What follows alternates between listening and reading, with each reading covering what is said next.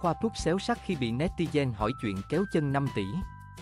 Khoa thuốc đã chi tổng số tiền rơi vào khoảng 5 tỷ đồng cho toàn bộ chi phí đại phẫu và chăm sóc sau ca mổ ở bệnh viện tư uy tín, đắt đỏ bậc nhất nước Mỹ.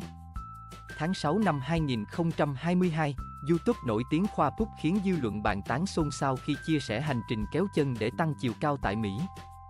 Theo đó, nam YouTube đã chi tổng số tiền rơi vào khoảng 5 tỷ đồng cho toàn bộ chi phí đại phẫu và chăm sóc sau ca mổ ở bệnh viện tư uy tín, đắt đỏ bậc nhất nước Mỹ.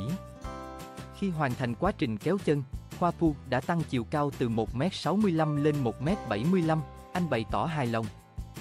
Hạnh phúc với quyết định thay đổi ngoại hình của mình. Đáng chú ý, Khoa Túc từng có thời gian bước đi tập tỉnh dù bỏ số tiền khủng kéo chân. Sau đó, nam YouTube tiến hành tập vật lý trị liệu và có những bước đi hoàn thiện ở thời điểm hiện tại. Tuy nhiên, điều này vẫn khiến cư dân mạng để bụng, thỉnh thoảng lại mang ra thắc mắc với ẩn ý mỉa mai, cà khịa anh chàng. Trước những câu hỏi kiểu, kéo chân xong có đi lại bình thường được không, hay kéo chân xong làm việc nặng được không, Khoa Túc vừa có đáp trả thâm thúy khiến đối phương tắt đài. Khoa Túc chia sẻ trên trang cá nhân rằng nếu đã bỏ 5 tỷ ra kéo chân thì bước đi phải khệnh khạng, ung dung hơn người bình thường. Thậm chí, giàu có đến mức này thì ăn có người bưng, uống có người rót, ngủ có người quạt, ngay cả đi nặng cũng có người hầu.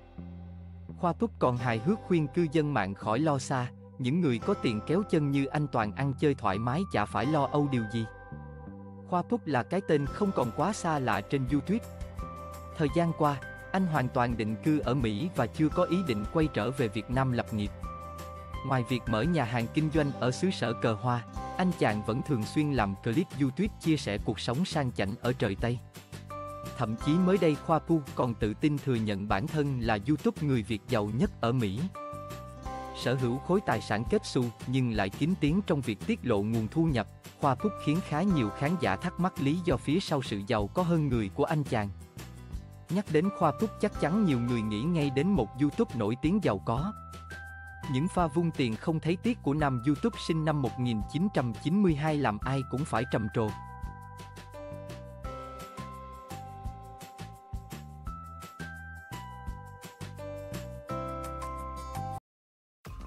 Cảm ơn các bạn đã theo dõi video, đừng quên nhấn đăng ký để ủng hộ đội ngũ kênh.